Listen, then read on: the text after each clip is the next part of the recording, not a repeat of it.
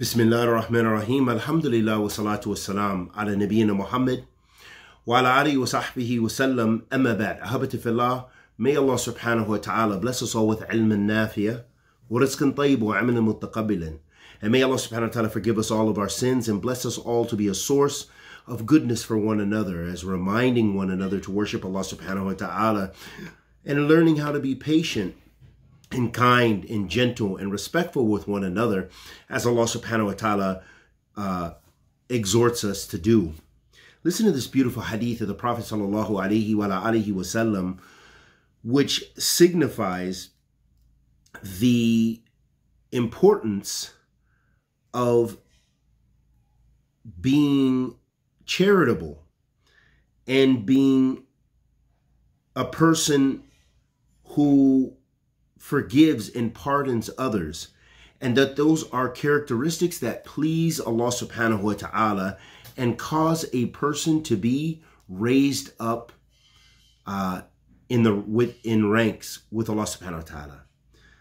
عن ابي هريره رضي الله تعالى عنه ان رسول الله صلى الله عليه وسلم قال ما نقصت صدقه من مال وما زاد الله عبدا بعفو إلا عزة وما تواضع أحد لله إلا رفعه رفعه الله رواه Muslim.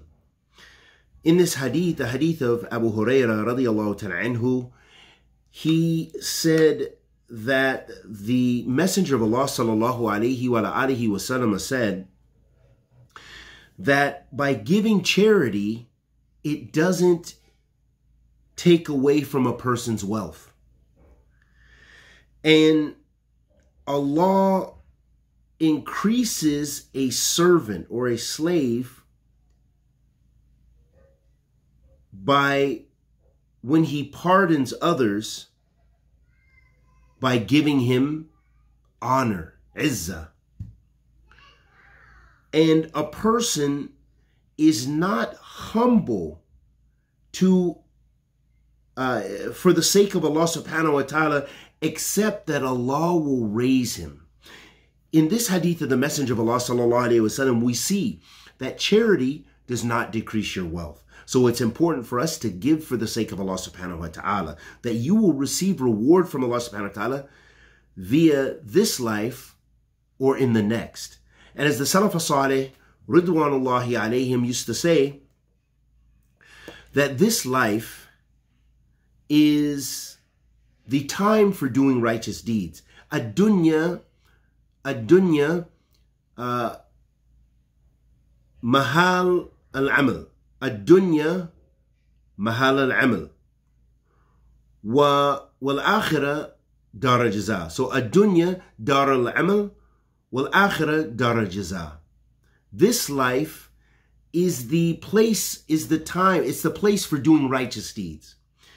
And the hereafter is the time, or is the place where you will receive the rewards of Allah subhanahu wa ta'ala for doing those righteous actions.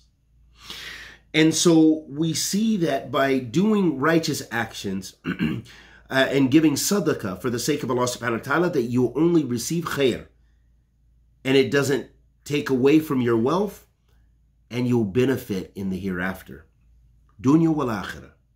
Likewise, in this hadith of the Prophet ﷺ, we see that Allah subhanahu wa ta'ala increases the slave, increases the person with honor, with izzah, if he is a person who pardons others. So pardon your brothers and sisters from debt pardoning them, forgiving them when they, if they have wronged you, even.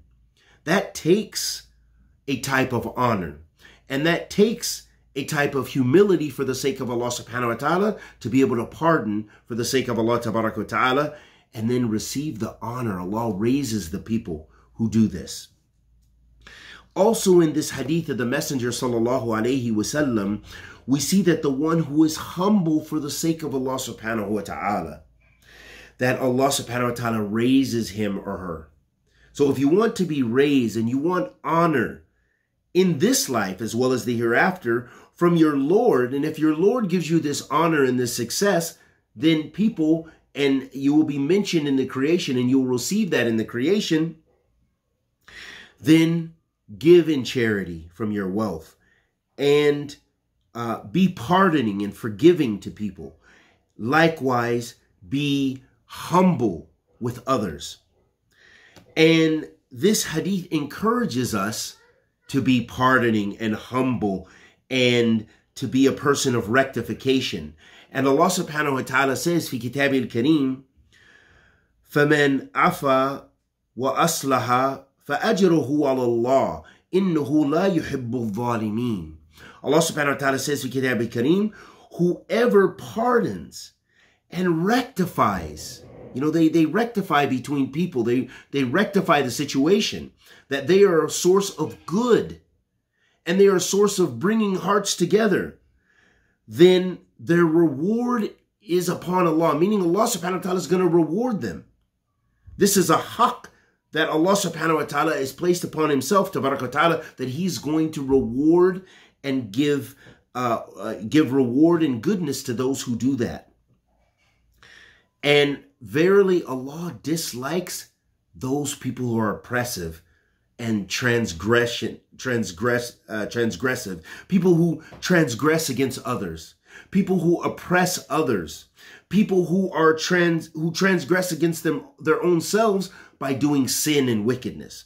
And may Allah subhanahu wa ta'ala bless us all to move away from sin and bless us all with ikhlas, with thabat, and bless us all to be of those who pardon one another and are sources of good for mankind. Ala nabiyyina Muhammad.